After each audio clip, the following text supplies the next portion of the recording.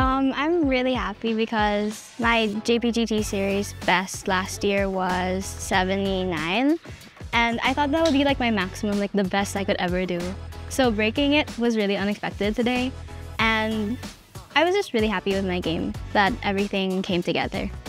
When I um, looked on my rangefinder, it, it was 179 uphill, and I was like, oh, okay, my 183 wood might not reach. So I decided to like um, shot shape and have a, um, a draw shot and luckily it worked. So I was I was really confident and I put a lot of thought into how I wanted to how I wanted the shot to go and thankfully it worked out.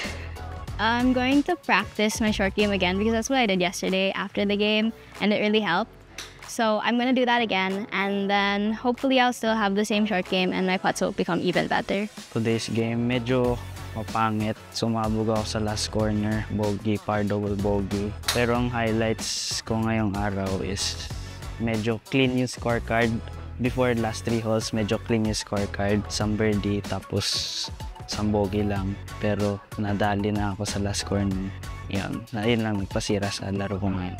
18, pag-drive ko, medyo sa right side. So, nasa rough. So, ball above feet. Pag palo ko siya, ma 200 yards, 5 iron. Kala ko magdodraw. Dumaretso siya, papunta sa hazard. Pero safe naman. Pero ang third shot ko medyo mahirap. Nasa loob siya ng hazard, tapos bato-bato. Punch out lang. Tapos pag chip, medyo mover. Two putts to adjustment ko sana. Sana mangyari. Huwag sanang magtapon ng laro sa dulo. Sana tapos fairway greens lang.